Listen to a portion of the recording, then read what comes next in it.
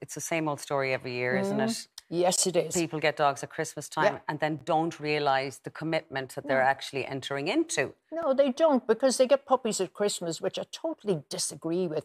But you find it like most houses at Christmas, it's packed. Yeah. So a mm. puppy is being entertained Yes. 24 7. And then Mm-hmm. suddenly Christmas is over and everybody goes home. Mm-hmm. And that puppy, well, there's nobody there to entertain it anymore. People have gone back to work, and puppy will either piddle all over the place or chew the furniture or do something like that. And then people just say, ah, had enough. Mm. Right, out you go. You know, so don't. If you're going to get a puppy or a, preferably a rescue, um, think about summertime and people are off school and there's holidays and things like that. And, and nice evenings to get out with them Yes. and spend time with them and train them properly.